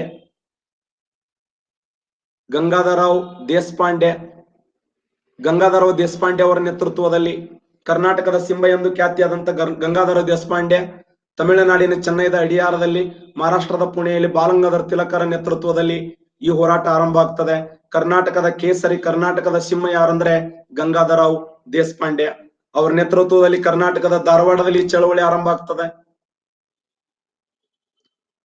ತಮಿಳುನಾಡಿನ ಚೆನ್ನೈದ ಅಡಿಯಾರದಲ್ಲಿ ಮಹಾರಾಷ್ಟ್ರದ ಪುಣೆಯ ಬಾಲಗಂಗಾಧರ ತಿಲಕದಲ್ಲಿ ಅವರು ಒಂದು ಮಾತು ಹೇಳ್ತಾರೆ, ಏನು ಸ್ನೇಹಿತರಂದ್ರೆ, ಕಳ್ಳರು ಮನೆಗೆ ನುಗ್ಗಿದ್ದಾರೆ, ಕಳ್ಳರನ್ನ ಮನೆಯಿಂದ ಹೊರ ಹಾಕದಿದ್ದರೆ, ಕಳ್ಳರನ್ನ ಮನೆಯಿಂದ ಹೊರ ಹಾಕದಿದ್ದರೆ ಬೆಂಕಿ ಹಚ್ಚಿ ಸುಟ್ ಬಿಡ್ರಿ ಅಂತ ಕರೆ ಕೊಟ್ಟಂತ ಒಬ್ಬ ಮಹಾನ್ ಹೋರಾಟಗಾರ ಯಾರು ಅಂತಂದ್ರೆ ಅದು ಬಾಲಗಂಗಾಧರ ತಿಲಕ್ ಸ್ನೇಹಿತರೆ. ಇನ್ನೊಂದು ಹೋರಾಟ ಅದು ಯಾವುದು ಅಂತಂದ್ರೆ ರೌಲತ್ ಕಾಯ್ದೆ. ನಾನು ಗಾಂಧಿ ಆಗಮನ ಚಂಪಾರಣ್ಯ ಸತ್ಯಾಗ್ರಹ ಬಗ್ಗೆ ಹೇಳಬೇಕಿತ್ತು ಹೇಳಿಲ್ಲ ಯಾಕಂತಂದ್ರೆ ಸಪರೇಟ್ ಆಗಿ ಸಪರೇಟ್ ಆಗಿ ನಾನು, ಆ, ಗಾಂಧಿ ಚಳವಳಿಯಲ್ಲಿ ಈ ಮಾತನ್ನ ಹೇಳ್ತೇನೆ. ಗಾಂಧಿ ಹೋರಾಟ ಅಂತ ಏನ್ ಬರ್ತದಲ್ಲ, ಈ ನಾಳೆಯಿಂದ ಗಾಂಧಿ ಚಳವಳಿಯನ್ನ ಆರಂಭ ಮಾಡ್ತೇನೆ. ಗಾಂಧಿ ಯುಗ ನಾಳೆಯಿಂದ ಸ್ಟಾರ್ಟ್ ಆಗ್ತದೆ. ಆ ಗಾಂಧಿ ಚಳವಳಿಯಲ್ಲಿ ಗಾಂಧಿ ಹೋರಾಟದಲ್ಲಿ ಎಲ್ಲ ಗಾಂಧಿ ಆಗಮನದಿಂದ ಹಿಡಿದುಕೊಂಡು ಸ್ವತಂತ್ರ ಹೋರಾಟದವರೆಗೆ ಆ ಪಾಯಿಂಟ್ ಗಳನ್ನ ಎಲ್ಲ ಎಕ್ಸ್ಪ್ಲೇನ್ ಮಾಡ್ತಾ ಹೋಗ್ತೇನೆ. ಓಕೆನಾ ಎಸ್ ಗಾಂಧಿ ಚಳವಳಿಯಲ್ಲಿ ಸಂಪೂರ್ಣವಾಗಿ ಗಾಂಧಿ ಯುಗ ಏನಿದೆಯಲ್ಲ ಇವೆಲ್ಲವೂ ಕೂಡ ನಾನು ಪ್ರಾರಂಭ ಹಿಡಿದು ಲಾಸ್ಟ್ ಸಾವಿರದ ಒಂಬೈನೂರ ನಲವತ್ತ ಎಂಟು ಗಾಂಧಿಯ ಹತ್ಯೆ ಆಗುವವರೆಗೆ. ಹ್ಮ್, ಅಲ್ಲಿಯವರೆಗೆ ನಾನು, ಆ, ಎಲ್ಲ ಹೋರಾಟವನ್ನ ಹೇಳ್ತೀನಿ. ಸ್ನೇಹಿತರೆ, ಇನ್ನೊಂದು ಪ್ರಧಾನವಾಗಿರುವಂತ ಕಾಯ್ದೆ. ನಾನು ಪಿ ಡಿ ಪಿ ಮೂಲಕ ಹೇಳ್ಬೇಕಂತ ಮಾಡಿದ್ದೆ ಬಹುತೇಕ ವಿದ್ಯಾರ್ಥಿಗಳು, ಸರ, ನೀವು ಬರಿತಾ ಹೇಳ್ರಿ, ನಮ್ಗೆಲ್ಲ ಅರ್ಥ ಆಗ್ತದೆ ಅಂತ ಹೇಳ್ತಾ ಇದ್ದಾರೆ. ಓಕೆನಾ? ಗುರುಪ್ರಸಾದ್ ಹತ್ತಿಗೌಡ ಸರ್ಗೆ ನಮಸ್ಕಾರ. ಗುರುಪ್ರಸಾದ್ ಹತ್ತಿಗೌಡ ಸರ್ಗೆ ನಮಸ್ಕಾರ.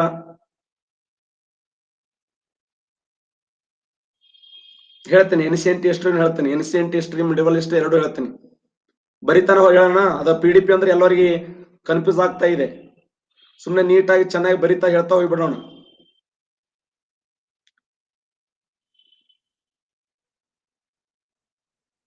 Okay okay.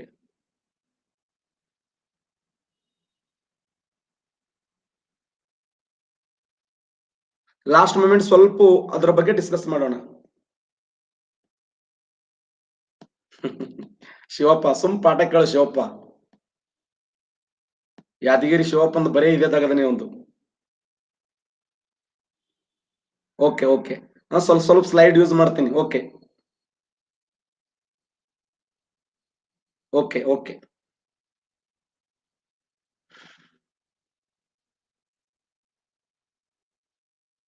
ಹೇಳ್ತೀನಿ ಏನ್ಸಿಯಂಟ್ ಹಿಸ್ಟ್ರಿ ಬಗ್ಗೆ ಹೇಳ್ತೀನಿ.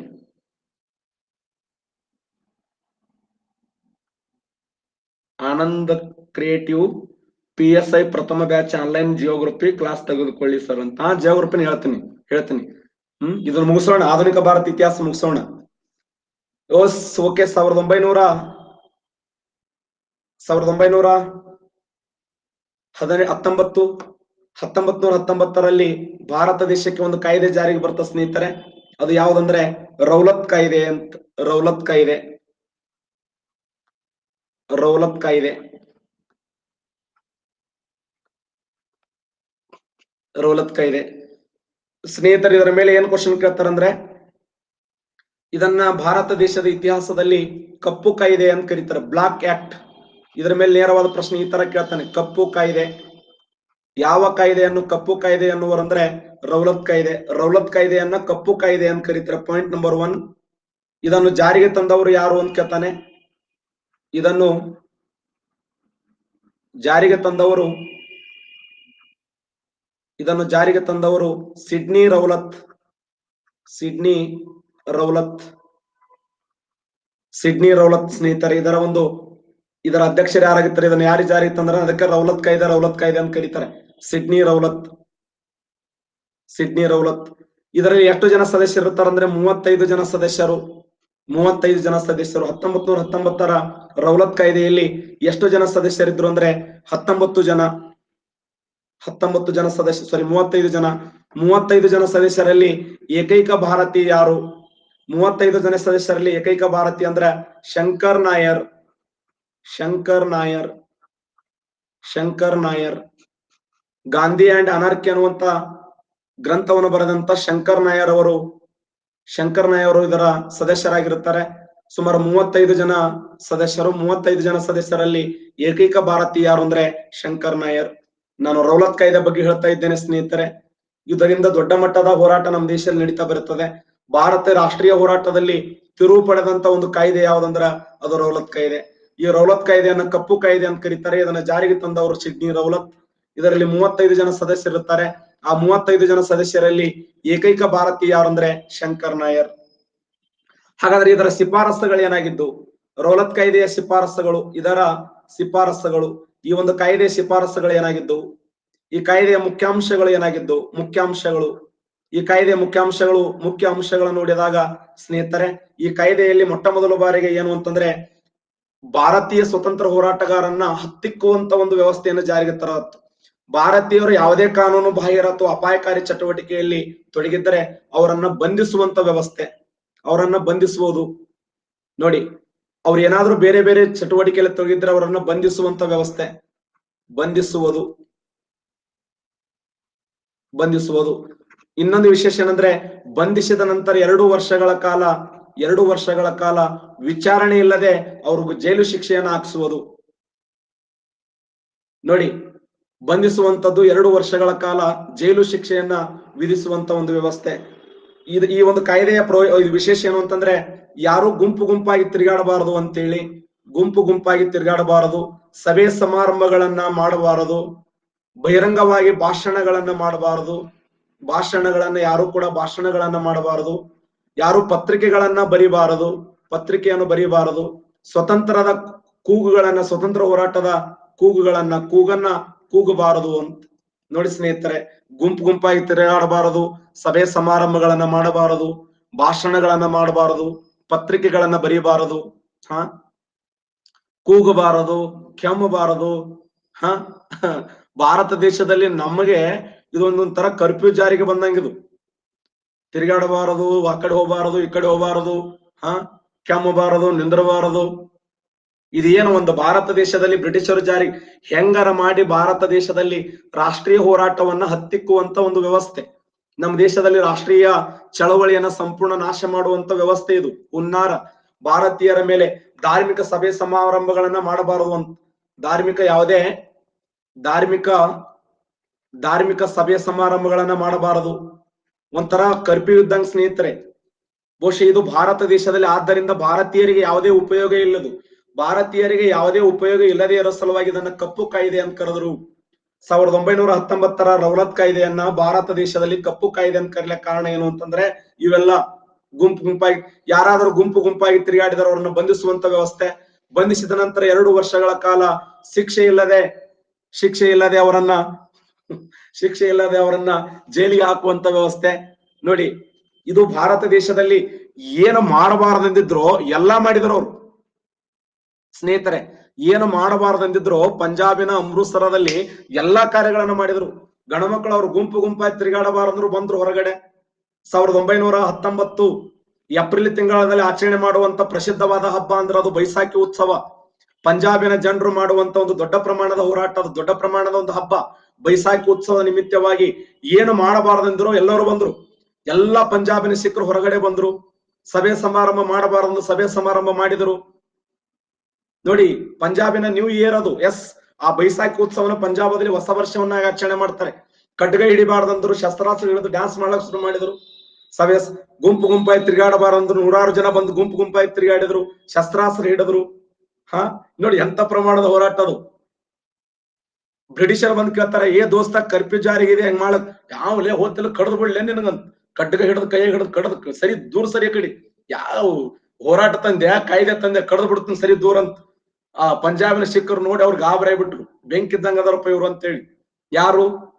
ಬ್ರಿಟಿಷ್ ಅಧಿಕಾರಿಗಳು.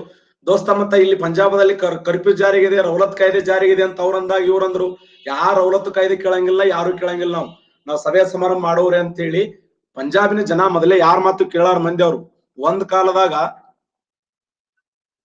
ಈ ಒಂದ್ ಕಾಲದಾಗ ಅವರು ಕಲ್ಕಿಸ್ತಾನ ಮಾಡ್ಲಕ್ ಮುಂದಾದವ್ರು ಪಂಜಾಬಿನ ಜನ, ಈ ಜಗತ್ತಿನಲ್ಲಿ ಯಾರಿಗ ಅಂಜಲಾರ ಜನ ಅವರು. ಖಡ್ಗ ಯಾವತ್ತವ್ರ ಕೈಯ ಖಡ್ಗ, ಕಗ, ಕೇಶ, ಆಮೇಲೆ ಅವ್ರು ನೋಡಿ ಹೆಂಗಿರ್ತಾರ ಅವ್ರು. ಪಂಜಾಬ್ನ ಶಿಕ್ಷರು ಸಿಖ್ಖರು ಅಂದ್ರೆ ದೊಡ್ಡ ಪ್ರಮಾಣದ ಹೋರಾಟ ಮಾಡುವಂತ ವ್ಯಕ್ತಿಗಳು. ಇಂಥ ಒಂದು ಹೋರಾಟದ ನಾಯಕತ್ವ ವಹಿಸಿಕೊಂಡವ್ರು ಯಾರು? ಈ ಒಂದು ರೌಲತ್ ಕೈ ಸಾರಿ ಜಾಲಿಯನ್ ಸಾರಿ ಈ ಬೈಸಾಖಿ ಉತ್ಸವದ ನಾಯಕತ್ವ ವಹಿಸಿಕೊಂಡವ್ರು ಯಾರು ಅಂತಂದ್ರೆ ಅಲ್ಲಿಯ ಅಲ್ಲಿಯ ಸಿಖ್ಖರ ನಾಯಕರಾಗಿರುವಂತ ಡಾಕ್ಟರ್ ಸತ್ಯಪಾಲ್ ಅವರು.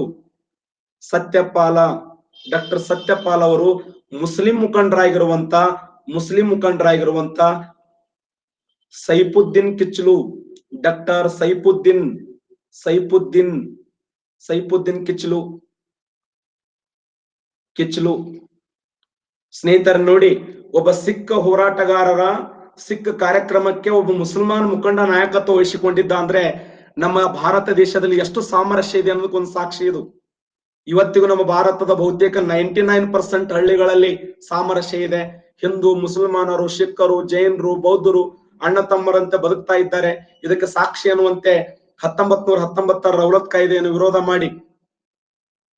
ಹತ್ತೊಂಬತ್ ನೂರ ಹತ್ತೊಂಬತ್ತರ ರೌಲತ್ ಕಾಯ್ದೆಯನ್ನು ವಿರೋಧ ಮಾಡಿ. ಮೊಟ್ಟ ಮೊದಲ ಬಾರಿಗೆ ಡಾಕ್ಟರ್ ಸೈಫುದ್ದೀನ್ ಕಿಚ್ಚಲು ಮತ್ತು ಸತ್ಯಪಾಲ್ ಅನ್ನುವಂತ ವ್ಯಕ್ತಿಗಳು ಈ ಹೋರಾಟವನ್ನು ಮಾಡ್ತಾರೆ ಸ್ನೇಹಿತರೆ. ಈ ಇಬ್ಬರ ನಾಯಕರನ್ನ ಪೊಲೀಸರು ಬಂಧಿಸ್ತಾರೆ. ಇವರು ಇಬ್ಬರನ್ನ ಬಂಧಿಸಿ ಡಾಕ್ಟರ್ ಸೈಫುದ್ದೀನ್ ಮತ್ತು ಡಾಕ್ಟರ್ ಸತ್ಯಪಾಲ ಮತ್ತು ಸೈಫುದ್ದೀನ್ ಕಿಚ್ಲು ಅವರನ್ನು ಬಂಧಿಸಿ ಜೈಲಿ ಹಾಕ್ತಾರೆ.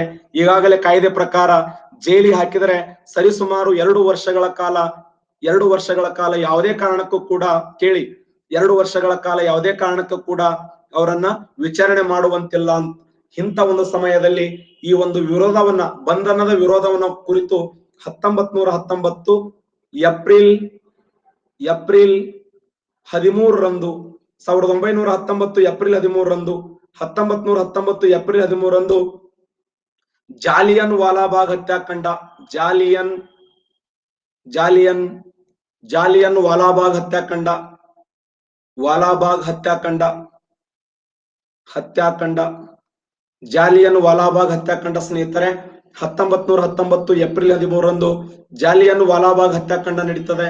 ಇದೊಂದು ಭಾರತ ದೇಶದಲ್ಲಿ ಕಪ್ಪು ಚುಕ್ಕೆ ಅಂತ ಕರಿತೀವಿ ಸ್ನೇಹಿತರೆ. ಪಂಜಾಬಿನ ಅಮೃತ್ಸರ್ ಅನ್ನುವಂತ ಸ್ಥಳ, ಆ ಪಂಜಾಬಿನ ಅಮೃತ್ಸರ ಅನ್ನುವಂತ ಸ್ಥಳದಲ್ಲಿ ಯಾವ ಡಾಕ್ಟರ್ ಸತ್ಯಪಾಲ್ ಸೈಫುದ್ದೀನ್ ಕಿಚ್ಲವರ ಬಂಧನವನ್ನು ವಿರೋಧ ಮಾಡಿ ಪಂಜಾಬಿನ ಅಮೃತ್ಸರದಲ್ಲಿ ಸರಿಸುಮಾರು ಇಪ್ಪತ್ತು ಸಾವಿರಕ್ಕಿಂತ ಹೆಚ್ಚು ಜನರು ಪ್ರತಿಭಟನಾಕಾರರು ಇಲ್ಲಿ ಸಭೆ ಸೇರ್ತಾರೆ ಸಾಯಂಕಾಲ ಐದು ಐದು ಗಂಟೆ ಸಮಯದಲ್ಲಿ. ಇಂಥ ಒಂದು ಸಮಯದಲ್ಲಿ ಈ ವಿಷಯ ಯಾರಿಗೆ ಗೊತ್ತಾಗ್ತಂದ್ರೆ ಜನರಲ್ ಡಯರ್ ಗೊತ್ತಾಗ್ತದೆ.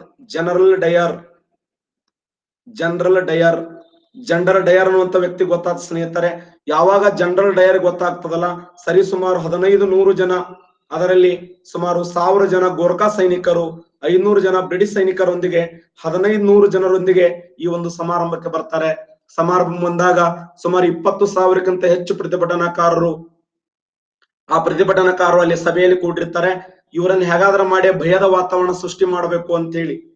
ಭಯದ ವಾತಾವರಣ ಸೃಷ್ಟಿ ಮಾಡಬೇಕು ಅಂತ ಹೇಳಿ ಒಳಗಡೆ ಎಂಟ್ರಿ ಕೊಡ್ತಾರೆ. ಎಂಟ್ರಿ ಕೊಟ್ಟು ಎಲ್ಲ ಪೂರ್ತಿ ಆ ಒಂದು ಜಾಲಿಯನ್ನು ವಾಲಾಬಾಗ್ ಹತ್ಯಾಕಾಂಡದ ವಾಲಾ ಭಾಗದಲ್ಲಿ ಸುತ್ತಲೂ ಎಲ್ಲ ಪೊಲೀಸ್ ಅಧಿಕಾರಿಗಳು ಅಟ್ಯಾಕ್ ಮಾಡ್ತಾರೆ ಸ್ನೇಹಿತರೆ. ಅಟ್ಯಾಕ್ ಮಾಡಿ ಕ್ಷಣಾರ್ಧದಲ್ಲಿ ಒಂದೇ ಸುತ್ತಿನಲ್ಲಿ ಹದಿನಾರು ನೂರ ಐವತ್ತು ಗುಂಡುಗಳು ಹಾರುತ್ತವೆ. ಹದಿನಾರು ನೂರ ಐವತ್ತು ಗುಂಡುಗಳು ಹಾರುತ್ತವೆ. ಸರಿಸುಮಾರು ಮುನ್ನೂರ ಎಪ್ಪತ್ತೊಂಬತ್ತು ಜನ ಸಾಯ್ತಾರೆ. ವೆರಿ ಇಂಪಾರ್ಟೆಂಟ್ ಮುನ್ನೂರ ಎಪ್ಪತ್ತೊಂಬತ್ತು ಜನರ ಸಾವು. ಹದಿನಾರು ನೂರ ಐವತ್ತು ಜನ ಹದಿನಾರು ನೂರ ಐವತ್ತು ಗುಂಡುಗಳು ಹಾರ್ತವೆ ಮುನ್ನೂರ ಎಪ್ಪತ್ತೊಂಬತ್ತು ಜನರ ಸಾವು ತ್ರೀ ಸೆವೆಂಟಿ ನೈನ್ ಮುನ್ನೂರ ಎಪ್ಪತ್ತೊಂಬತ್ತು ಜನ ಸಾವು, ಹನ್ನೆರಡು ನೂರು ಜನ ಶಾಶ್ವತ ಅಂಗವಿಕಲರಾಗ್ತಾರೆ ಸ್ನೇಹಿತರೆ. ಸರಿಸುಮಾರು ಸರಿಸುಮಾರು ಐದು ಸಾವಿರಕ್ಕಿಂತ ಹೆಚ್ಚು ಜನರು ಗಾಯಗೊಳ್ಳುತ್ತಾರೆ. ಇದು ಭಾರತ ದೇಶದ ಇತಿಹಾಸದಲ್ಲಿ ಇದೊಂದು ಕಪ್ಪು ಚುಕ್ಕೆ. ಕಪ್ಪು ಚುಕ್ಕೆ ಮುನ್ನೂರ ಎಪ್ಪತ್ತೊಂಬತ್ತು ಜನರ ಸಾವು ತ್ರೀ ಸೆವೆಂಟಿ ನೈನ್ ಮುನ್ನೂರ ಎಪ್ಪತ್ತೊಂಬತ್ತು ಜನರ ಸಾವು ಭಾರತ ಸ್ವತಂತ್ರ ಹೋರಾಟದಲ್ಲಿ ಭಾರತೀಯರಿಗಾಗಿರುವಂತ ನೋವು ಇವತ್ತೇನು ನಾವು ಜಾಲಿಯನ್ ವಾಲಾಬಾಗ್ ಹತ್ಯಾಕಾಂಡ ಅಂತ ಕರಿತೀವಲ್ಲ, ಈ ಜಾಲಿಯನ್ ವಾಲಾಬಾಗ್ ಹತ್ಯಾಕಾಂಡ ಮರೆಯಲಾರದಂತ ನೋವು. ಯಾಕೆಂದ್ರೆ ಈ ವರ್ಷ ಹತ್ತೊಂಬತ್ ನೂರ ಹತ್ತೊಂಬತ್ತು, ಎರಡ್ ಸಾವಿರದ ಹತ್ತೊಂಬತ್ತು ನೂರು ವರ್ಷಗಳು ಗತಿಸುವುದು ಇದರ ಮೇಲೆ ಕ್ವಶನ್ ಕೇಳುವಂತ ಸಾಧ್ಯತೆ ಇದೆ. ಕ್ವಶನ್ ಕೇಳುವಂತ ಸಾಧ್ಯತೆ ಇದೆ. ಯಾಕಂದ್ರೆ ಭಾರತ ದೇಶದಲ್ಲಿ ಕರಾಳ ಜನ, ಈ ಒಂದು ಘಟನೆಯನ್ನು ಕಂಡಿರ್ತಕ್ಕಂತ ಯಾರು ಮಹಾತ್ಮ ಗಾಂಧಿ ಅವರು ಹೇಳ್ತಾರೆ, ಮಹಾತ್ಮ ಗಾಂಧಿ ಅವರು ಈ ಘಟನೆಯನ್ನು ಖಂಡಿಸ್ತಾರೆ ಸ್ನೇಹಿತರೆ. ಇದೊಂದು ಸೈತಾನ ಸರ್ಕಾರ. ಬ್ರಿಟಿಷ್ ಸರ್ಕಾರ ಅನ್ನೋದು ಇದೊಂದು ಸೈತಾನ ಸರ್ಕಾರ. ನಾಗರಿಕರ ಪರವಾಗಿ ಇಲ್ಲದೆ ಇರುವಂತ ಸರ್ಕಾರ. ಇದೊಂದು ಸೈತಾನ ಸರ್ಕಾರ. ಇದೊಂದು ರಾಷ್ಟ್ರದ್ರೋಹಿಗಳ ಸರ್ಕಾರ. ಜಗತ್ತಿಗೆ ನಾಗರಿಕತೆ ಬೋಧನೆ ಮಾಡೋರು ನೀವು. ಶಿವಲಾಜೇಶನ್ ಅಂತ ಹೇಳೋರು ನೀವು. ಇಂತ ಒಂದು ಕೆಟ್ಟ ಕೆಲಸ ಮಾಡಕ್ ನಿಮಗೆ ನಾಚಿಕೆ ಆಗುವುದಿಲ್ಲವೇ ಅಂತೇಳಿ ಸ್ವತ್ ಮಹಾತ್ಮ ಗಾಂಧಿ ಅವರು ಪ್ರಶ್ನೆ ಮಾಡ್ತಾರೆ. ಅಷ್ಟೇ ಅಲ್ಲದೆ ಮಹಾತ್ಮ ಗಾಂಧಿ ಅವರಿಗೆ ಕೊಟ್ಟಿರ್ತಕ್ಕಂತ ಕೈಸರ್ ಹಿಂದ್ ಅನ್ನುವಂತ ಪ್ರಶಸ್ತಿಯನ್ನ, ಕೈಸರ್ ಕೈಸರ್ ಹಿಂದ್ ಅನ್ನುವಂತ ಪ್ರಶಸ್ತಿಯನ್ನ ಕೈಸರ್ ಹಿಂದ್ ಪ್ರಶಸ್ತಿಯನ್ನು ವಾಪಸ್ ಕೊಡ್ತಾರೆ. ಕೈಸರ್ ಹಿಂದ್ ಪ್ರಶಸ್ತಿ. ಅದೇ ಸಮಯದಲ್ಲಿ ರವೀಂದ್ರನಾಥ್ ಟ್ಯಾಗೂರ್ ಅವರು, ರವೀಂದ್ರನಾಥ್ ಟ್ಯಾಗೂರ್ ಅವರು, ರವೀಂದ್ರನಾಥ್ ಟ್ಯಾಗೂರ್ ಅವರು ನೈಟ್ ಹುಡ್ ಪ್ರಶಸ್ತಿಯನ್ನ ನೈಟ್ ಹುಡ್ ಪ್ರಶಸ್ತಿಯನ್ನು ವಾಪಸ್ ಕೊಡ್ತಾರೆ ಸ್ನೇಹಿತರೆ. ಬ್ರಿಟಿಷ್ ಸರ್ಕಾರಕ್ಕೆ ನೈಟ್ ಹುಡ್ ಪ್ರಶಸ್ತಿಯನ್ನು ತೆಗೆದುಕೊಳ್ಳಿ ಅಂತ. ಅಷ್ಟೇ ಅಲ್ಲದೆ ಶಂಕರ್ ನಾಯರ್ ಅವರು, ಶಂಕರ್ ನಾಯರ್ ಅವರು ಶಂಕರ್ ನಾಯರ್ ಅವರು ಈ ಕಾರ್ಯಕಾರಿಣಿ ಸಮಿತಿಗೆ ರಾಜೀನಾಮೆಯನ್ನು ಕೊಟ್ಟು ಹೊರಗಡೆ ಬರ್ತಾರೆ ಸ್ನೇಹಿತರೆ. ಶಂಕರ್ ನಾಯರ್ ಅವರು, ಬೇಡ, ನಿಮ್ಮ ಯಾವ ಸದಸ್ಯತ್ವೂ ಬೇಡ, ಏನೂ ಬೇಡ ಅಂತೇಳಿ ಆ ಶಂಕರ್ ನಾಯರ್ ಅವರು ತಮ್ಮ ಕಾರ್ಯಕಾರಿಣಿ ಸಮಿತಿಗೆ ರಾಜೀನಾಮೆಯನ್ನು ಕೊಟ್ಟು ಹೊರಗಡೆ ಬರ್ತಾರೆ. ಇವೆಲ್ಲ ಘಟನೆಗಳು ಭಾರತದ ಇತಿಹಾಸದಲ್ಲಿ ಮರೆಯಲಾರದಂತ ಒಂದು ಘಟನೆ ಅಂತ ಕರಿತೀವಿ. ಅಷ್ಟೇ ಅಲ್ಲದೆ ಒಂದು ಪ್ರತಿಭಟನೆ ಮಾಡ್ತಾರೆ ಸ್ನೇಹಿತರೆ, ಒಂದು ಆಯೋಗ ನೇಮಕ ಮಾಡ್ತಾರೆ. ಆ ಆಯೋಗದ ಹೆಸರು ಏನಂದ್ರೆ ಹಂಟರ್ ಆಯೋಗ ಅಂತ ಕರಿತೀವಿ. ಹಂಟರ್ ಆಯೋಗ. ಹಂಟರ್ ಆಯೋಗ ಏನಿದು ಹಂಟರ್ ಆಯೋಗ ಈ ಈ ಒಂದು ಜಾಲಿಯನ್ ವಾಲಾಬಾಗ್ ಹತ್ಯಾಕಾಂಡವನ್ನ ವಿರೋಧ ಮಾಡಿ. ಜಾಲಿಯನ್ ವಾಲಾಬಾಗ್ ಹತ್ಯಾಕಾಂಡ ಇದೊಂದು ಮೋಸದ ಒಂದು ಹೋರಾಟ. ಇಲ್ಲಿ ಭಾರತೀಯರಿಗೆ ಆಗಿರುವಂತ ನೋವನ್ನು ತುಂಬಿಕೊಳ್ಳಲು ಅವರಿಗೆ ಪರಿಹಾರವನ್ನು ಒದಗಿಸುವ ಸಲುವಾಗಿ ಹಂಟರ್ ಆಯೋಗ ನೇಮಕ ಮಾಡ್ತಾರೆ. ಆ ಹಂಟರ್ ಆಯೋಗದಲ್ಲಿ ಎಂಟು ಜನ ಸದಸ್ಯರು ಇರ್ತಾರೆ ಸ್ನೇಹಿತರೆ. ಎಂಟು ಜನ ಸದಸ್ಯರು. ಆ ಎಂಟು ಜನ ಸದಸ್ಯರಲ್ಲಿ ಐದು ಜನ ಸದಸ್ಯರು ಬ್ರಿಟಿಷ್ ಸದಸ್ಯರಿರ್ತಾರೆ. ಇನ್ನು ಮೂರು ಜನ ಸದಸ್ಯರಲ್ಲಿ ಮೂರು ಜನ ಸದಸ್ಯರಲ್ಲಿ sir Sultan sir Sultan Ahmed sir Sultan Ahmed sir Sultan Ahmed ಅನ್ನುವಂತ ವ್ಯಕ್ತಿ ಒಬ್ರು, ಸರ್ ಸುಲ್ತಾನ್ ಅಹಮ್ಮದ್ ನೆಕ್ಸ್ಟ್ ಯಾರು ಅಂತಂದ್ರೆ ಚಮನ್ ಲಾಲ್ ಚಮನ್ ಲಾಲ್ ಚಮನ್ ಲಾಲ್ ಚಮನ್ ಲಾಲ್ ಚಮನ್ ಲಾಲ್ ಸೆಟಲ್ ವಾಡ್ ಅನ್ನುವಂತ ವ್ಯಕ್ತಿ. ಶಟಲ್ ವಾಡ ಅಥವಾ ಶಟಲ್ ವಾರ್ಡ್ ಅನ್ನುವಂತ ವ್ಯಕ್ತಿ ಪಂಡಿತ್ ಜಗತ್ ನಾರಾಯಣ್ ಪಂಡಿತ್ ಜಗತ್ ನಾರಾಯಣ್ ಪಂಡಿತ್ ಜಗತ್ ನಾರಾಯಣ್ ಸ್ನೇಹಿತರೆ, ಸರ್ ಸುಲ್ತಾನ್ ಅಹಮ್ಮದ್ ಅನ್ನುವಂತ ವ್ಯಕ್ತಿ ಚಮನ್ ಲಾಲ್ ಸೆಟಲ್ ವಾಡ ಪಂಡಿತ್ ಜಗತ್ ನಾರಾಯಣ್ ಈ ಮೂರು ಜನ ಸದಸ್ಯರು, ಮೂರು ಜನ ಸದಸ್ಯರು ನಮ್ಮ ಭಾರತ ದೇಶದ ಪರವಾಗಿ ಪಾಲ್ಗೊಂಡಿರ್ತಾರೆ. ಆದರೆ ಎಷ್ಟು ಜನ ಯಾರ ಕಡೆ ಇರ್ತಾರೋ ಅವ್ರ ಕಡೆ ತೀರ್ಪು ಬರ್ತದೆ. ಆ ತೀರ್ಪು ಅವ್ರ ಕಡೆ ಬರ್ತದೆ. ಏನ್ ತೀರ್ಪು ಅಂದ್ರೆ ಜಾಲಿಯನ್ ವಾಲಾಬಾಗ್ ಹತ್ಯಾಕಾಂಡಕ್ಕೆ ಕಾರಣ ಆಗಿರುವಂತ ಜನರ ಡಯಾನ್ ಕಡೆ ತಪ್ಪಿಲ್ಲ. ಅವನು ಒಳ್ಳೆ ಮನುಷ್ಯ, ಭಾರತೀಯರ ಕಡೆ ತಪ್ಪಾಗಿದೆ. ಜಾಲಿಯನ್ ವಾಲಾಬಾಗದಲ್ಲಿ ಕೂಡಬಾರದಿತ್ತು. ರೌಲತ್ ಕಾಯ್ದೆ ಜಾರಿಗೆ ಬಂದಿತ್ತು. ಆ ರೌಲತ್ ಕಾಯ್ದೆಯನ್ನ ಮೀರಿ ಕೂಡ ಇಪ್ಪತ್ತು ಸಾವಿರ ಜನ ಒಂದಾಗಿದ್ದು ತಪ್ಪು ಮಾಡಿದ್ದಾರೆ. ಆ ತಪ್ಪಿಗೆ ಶಿಕ್ಷೆ ಕೊಡುವ ಸಲುವಾಗಿ ಸಣ್ಣ ತಪ್ಪು ಮಾಡಿದ್ದಾನೆ ಹೊರತು ಆತನಿಂದ ಯಾವುದೇ ದೊಡ್ಡ ತಪ್ಪು ಆಗಿಲ್ಲ ಅಂತ ಹೇಳಿ ಅವರು ಹೇಳ್ತಾರೆ ಸ್ನೇಹಿತರೆ. ಮುನ್ನೂರ ಎಪ್ಪತ್ತೊಂಬತ್ತು ಜನ ಸತ್ತಿದ್ದಾರೆ. ಬಾವಿಯಲ್ಲಿ ಬಿದ್ದು ಪ್ರಾಣವನ್ನು ಬಿಟ್ಟಿದ್ದಾರೆ. ಅವರಿಗಿದು ಸಾವಲ್ಲ ಅಂತ. ಎಂತ ಒಂದು ಕರ್ಮದ ಹೋರಾಟ. ಅದಕ್ಕೆ ಮೋತಿಲಾಲ್ ನೆಹರು ಅವರು ಒಂದು ಮಾತು ಹೇಳ್ತಾರೆ. ಇದು white washing bill Jawaharlal Nehru ಅವರ ತಂದೆಯಾಗಿರುವಂತ ಮೋತಿಲಾಲ್ ನೆಹರು ಅವರು, ಅಬ್ಬಾಸಿ ತ್ಯಾಬ್ಜಿ ಅವರು, ಅಬ್- ಅಬ್ಬಾಸಿ ತ್ಯಾಬ್ಜಿ ಮೋತಿಲಾಲ್ ನೆಹರು, ಮೋತಿ, ಮೋತಿಲಾಲ್ ನೆಹರು, ಮತ್ತೆ ಅಬ್ಬಾಸಿ ತ್ಯಾಬ್ಜಿ ಅಬ್ಬಾಸಿ ತ್ಯಾಬ್ಜಿ ಅವರು, ಮೋತಿಲಾಲ್ ನೆಹರು ಅವರು ಅಬ್ಬಾಸಿ ತ್ಯಾಬ್ಜಿ ಅವರು ಮತ್ತು C R Das C R Das, Chittaranjan Das, Motilal Nehru Abbas Tyabji C R Das ಅವ್ರು ಹೇಳ್ತಾರೆ ಏನು ಅಂತಂದ್ರೆ ಅವ್ರ ಕಡೆ ಯಾವುದೇ ತಪ್ಪಾಗಿಲ್ಲ ಅಂತ. ಅವ್ರ ಅವ್ರ ಕಡೆ ಯಾವುದೇ ತಪ್ಪಾಗಿಲ್ಲ, ಅವ್ರು ಒಳ್ಳೆಯವರು ಅಂತ ಹೇಳಿ ವಾದ ಮಾಡ್ತಾರೆ. ಆ ಬ್ರಿಟಿಷರು, ಅವರು ಪರ್, ಅವರು ವಿರೋಧಿಸಿ ಸಿ ಆರ್ ದಾಸ್ ಮೋತಿಲಾಲ್ ಅಬ್ಬಾಸಿ ತ್ಯಾಬ್ಜಿ ಹೇಳ್ತಾರೆ, ಇದು ವೈಟ್ ವಾಷಿಂಗ್ ಬಿಲ್ ಅಂತೇಳಿ. ವೈಟ್ ವಾಷಿಂಗ್ ಬಿಲ್ ಇವರು ತಪ್ಪು ಮಾಡಿದ್ದಾರೆ. ವೈಟ್ ವಾಷಿಂಗ್ ಬಿಲ್ ಅಂತಂದ್ರೆ ಏನು? ಸಂಪೂರ್ಣವಾಗಿರುವಂತ ಶ್ವೇತ ಪತ್ರ ಅವರಿಂದ ಯಾವುದೇ ತಪ್ಪಾಗಿಲ್ಲವೇ? ಸ್ವತಂತ್ರ ಹೋರಾಟದಲ್ಲಿ ಅವ್ರ, ಅವ್ರು ಯಾವುದೇ, ಹ್ಮ್, ಭಾರತೀಯ ಸ್ವತಂತ್ರ ರೌಲತ್ ಕಾಯ್ದೆಯಲ್ಲಿ ಅವ್ರು ಯಾರು ಪಾಲ್ಗೊಂಡಿರ್ಲಿಲ್ಲವೇ? ಅಥವಾ ಅವರು ಮಾಡಿರ್ತಕ್ಕಂಥ ತಪ್ಪು ಸರಿಯಾಗಿತ್ತೆ? ಅಥವಾ ಅವ್ರು ಮಾಡಿರ್ತಕ್ಕಂಥ ಕೆಲಸ ಸತ್ಯನ? ಇದೆಲ್ಲ ಪ್ರಶ್ನೆಗಳನ್ನ ನೋಡ್ತಾ ನೋಡ್ತಾ ಹೋದಾಗ, ಎಸ್ ಆ ಜೈಕರ್ ಅವರು. ಜೈಕರ್ ಅವರು ಕೂಡ ಈ ಮಾತನ್ನ ಹೇಳ್ತಾರೆ, ಸ್ನೇಹಿತರೆ. ಒಟ್ಟಾರೆಯಾಗಿ ಜಾಲಿಯನ್ ವಾಲಾಬಾಗ್ ಹತ್ಯಾಕಾಂಡ ಭಾರತ ದೇಶದಲ್ಲಿ ಇದೊಂದು ಕಪ್ಪು ಚುಕ್ಕೆ. ಅದೇ ತರ ಕರ್ನಾಟಕ ರಾಜ್ಯದಲ್ಲಿ ವಿದುರಾಶತ್ವ ಅಂತ ಏನ್ ದುರಂತ ನಡೀತಲ್ಲ, ಅಲ್ಲಿ ಕೂಡ ಸಾಕಷ್ಟು ಕನ್ನಡಿಗರು ಹಸುನಿರ್ತಾರೆ ಆ ಎರಡು ಘಟನೆಗಳು ಭಾರತ ದೇಶದಲ್ಲಿ ಇದೊಂದು ಕಪ್ಪು ಚುಕ್ಕೆ ಅಂತೇಳಿ ಕರಿತೀವಿ. ಓಕೆ, ಸ್ನೇಹಿತರೆ. ನಾಳೆ ಅವಧಿಯಲ್ಲಿ ನಾವು ಗಾಂಧಿ ಯುಗವನ್ನು ಕುರಿತು ಅಧ್ಯಯನ ಮಾಡೋಣ. ಗಾಂಧಿ ಯುಗ ನಾಳೆ ಅವಧಿಯಲ್ಲಿ. ಹ್ಮ್? ಇವತ್ತಿಗೆ ತೀವ್ರಗಾಮಿಗಳ ಯುಗ ಒಂದು ಕಂಪ್ಲೀಟ್ ಆಯ್ತು. ತೀವ್ರಗಾಮಿಗಳ ಯುಗ ಕಂಪ್ಲೀಟ್ ಆಯ್ತು. ನಾಳೆ ಅವಧಿಯಲ್ಲಿ ಗಾಂಧಿ ಯುಗ ಸ್ಟಾರ್ಟ್ ಆಗ್ತದ. ಗಾಂಧಿ ಯುಗದ ಬಗ್ಗೆ ಚೆನ್ನಾಗಿ ನೋಟ್ ಮಾಡ್ಕೊಳ್ಳಿ. ಎಸ್ ವೆರಿ ಗುಡ್ ತುಂಬಿಗೌರ್ ರೈಟ್ ಆನ್ಸರ್ ಇವರನ್ನು ಕೊಂದವರು ಯಾರಂದ್ರು? ಉದಾಮ್ ಸಿಂಗ್, ಸಾವಿರದ ಒಂಬೈನೂರ ನಲವತ್ತು ಮನೆ ಹೇಳಿದ್ದೆ ನಿಮಗೆ. ಉದಾಮ್ ಸಿಂಗ್ ಅವರು ಕೊಲ್ತಾರೆ. ಇಂಗ್ಲೆಂಡ್ ದೇಶದಲ್ಲಿ ಸಾವಿರದ ಒಂಬೈನೂರ ನಲವತ್ತರಲ್ಲಿ ಉದಾಮ್ ಸಿಂಗ್ ಅವರು ಗುಂಡೆಟ್ಟು ಕೊಲ್ಲುವುದರ ಮೂಲಕ ಅವರು ಸತ್ತು ಹೋಗ್ತಾರೆ.